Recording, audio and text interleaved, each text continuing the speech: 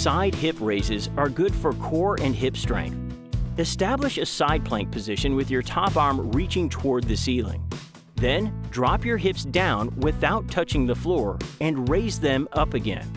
Keep your body straight from front to back and through the hips.